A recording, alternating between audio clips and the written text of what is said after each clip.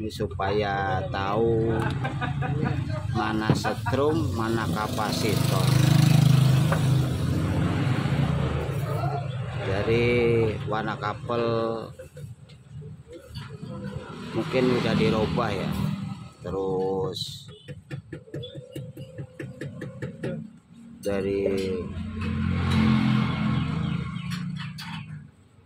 merek juga berbeda jadi yang paling gampang itu untuk mengetahui dinamo ini bagus atau enggaknya.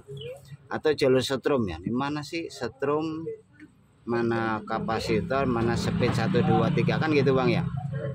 Ya kan? Speed 1 2 dan 3 jadi sebenarnya kalau lilitan ini ini lilitan ya. Jumpa di lilitan mau 5 kabel mau 6 kabel mau 7 kabel itu sebenarnya sama aja. Dalam bersama ya seperti ini. Kita bikin coret-coretan aja ya. Dari setiap kabel itu ada suatu titik. Titik ya. Ini kalau diukur. Kode betul seperti itu jadi ada dua kabel di sini. Ya namanya nih namanya nih pertama adalah kapasitor.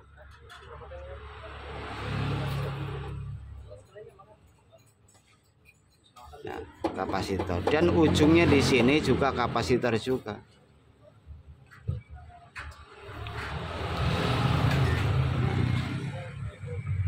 jadi sepanjang perjalanan dinamo ini dari kapasitor ujung pertama ujungnya kapasitor. Kan kapasitor itu ada dua. Jadi dua kapasitor itu adalah awal dan akhir. Kalau kita gambar kapasitor itu seperti ini nih gambar kapasitor.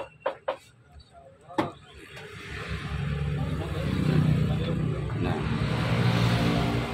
kalau digambar ini ini kapasitor ini, ini kapasitor sini nih. Kalau digambar itu, ini bentuknya kapasitor. Awal dan akhir dua kabel kapasitor. Nah di sini, ini dibagi nih antara ini atau ini kita tinggal tinggal pilih itu, pilih dari kondisi yang ada. Dan di tengah sini, ini ada namanya speed satu satu nih ya. Nah satu. Terus ada lagi dua. Ini ada lagi ini tiga. Nah speed satu speed dua dan speed tiga. Itu jalan perjalanan ini. Dari kapasitor speed satu speed dua speed tiga. Ke kapasitor lagi. Dan di sini ada namanya kapasitor starting kalau kapasitor starting kalau kita udah tahu skema seperti ini kapasitor starting berarti di sini kita fokusin. Starting. Ya starting.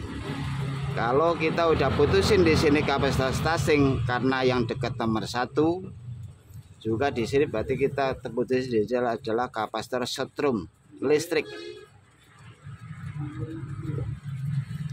Nah jadi ada kapasitor starting dan ada kapasitor listrik.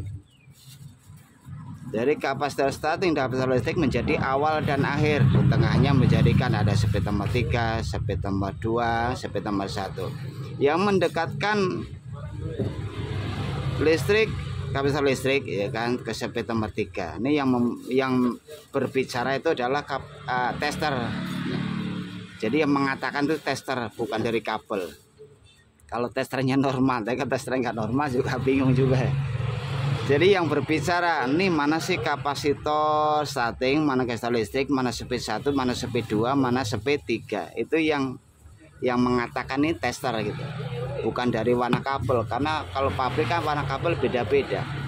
Kalau warna kabel bisa dipatukan merek Masben dan merek Miyako itu berbeda dan merek Miyako dengan merek Cina itu berbeda lagi.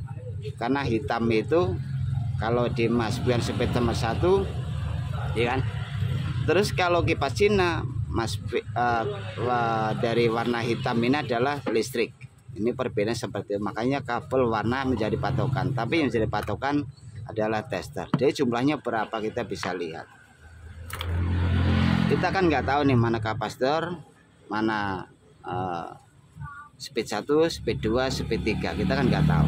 Jadi kalau kita udah mengetahui jarak yang paling tempuh paling panjang ujung ke ujung berarti jumlahnya adalah paling banyak. Nah, kita jumlah nyari yang paling banyak nih. Yang paling banyak ini mana? Kita ukur. 200 bang ya? 200 kita cari lagi. Ini masih tetap di sini. Kita jangan rubah-rubah. 300 600 600 100 ini yang paling banyak mana nih?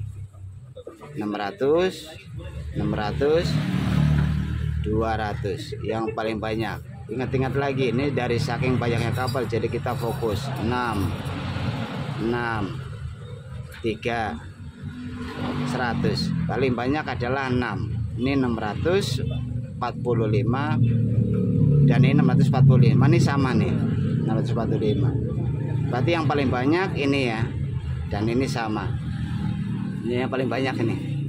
645 kita jadikan nah ini jadi patokan ini. Jangan sampai ditinggal ini. Kita cari lagi nih dari 600 kita belum belum menentukan untuk mana uh, yang paling banyak lagi. Kita cari lagi yang paling banyak baru jumlahnya baru 600 kita cari lagi 600 800 ada lagi kan? Ini 800 400 nol langsung 500 berarti yang paling banyak tadi jumlahnya 800 nah ada nggak yang lebih banyak dari 800 kita cari lagi 600 400 0 500 800 ini yang terbanyak nih 800 kita cari lagi nih. Nah dari 800 kita cari lagi. Ada nggak? 800 400 500 dan ini 300 ternyata ya ini, ini yang paling banyak 800 ini. Ya yang paling banyak ini adalah 800 nih jadi yang paling banyak ini 800 ini kita jadikan dua kabel kapasitor. Berarti antara ujung dan ujung kalau diukur ini. 800 berapa tadi itu jumlahnya? 894 ya kan? Kita tulis ini. 894 ya nah sini sama nih. 894 ujung sama ujung. Jadikan dua kabel kapasitor. Ini praktek ini.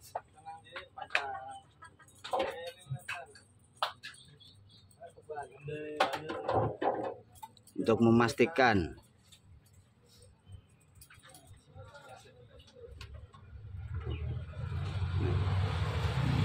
894 ini juga sama nih. 895 895 sama kapasitor. Terserah mau warna putih boleh mau warna biru boleh.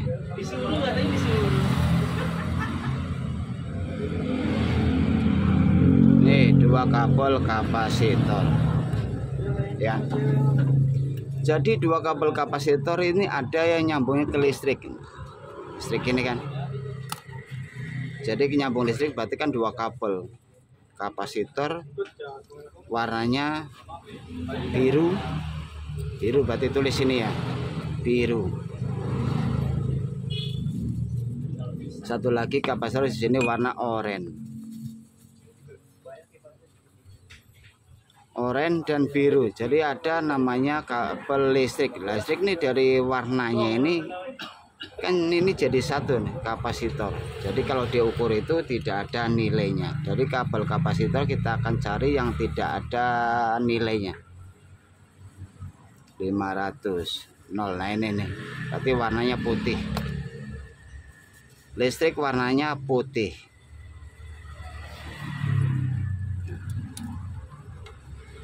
Langsung sambung ya listrik. Ini kan cokolokan ini.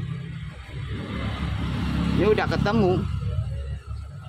Strum langsung dua kabel kapasitor udah ketemu. Baru kita cari yang paling banyak aja tuh udah ketemu ini mana? Speed 1 speed 2 speed 3 sebelum kita tes kita ukur dulu. Ukurnya kita dari listriknya ini warna putih. Nah ini ya. Berarti yang paling dekat jangan langsung ke dua ketiga ini bisa diukur. Berarti jaraknya ini adalah yang dekat.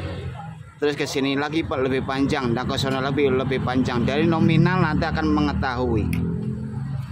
Ya kan? Dari nominal ini warna putih. Listrik ya. Sesuai dengan tulisan. Mana yang paling dekat? Jangan paling panjang. Paling dekat mana? 500 400 600 600 500 400 yang paling dekat 400 bang ya? 470 warnanya merah. Tulis ini nih 470 warnanya merah. Ya kan? Kita tulis. Terus yang kedua 500 600 yang paling dekat lagi mana? 500 nah ini 500 ini. 500 warnanya kuning terus kita ukur lagi ini 600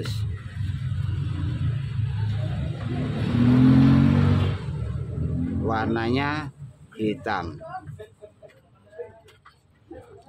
Kalau ditulis itu ini warnanya hitam. Warnanya kuning. Warnanya merah merah speed nomor 3 kuning speed nomor 2 hitam speed nomor 1 ini udah ketemu karena dari segi nominal urutan gitu jadi caranya metode saya gitu ya. Ya kalau bingung ya dibolak balik aja. Jadi yang paling kencang ini pengecil paling kencang nih. Uh, warna merah tes menggunakan listrik.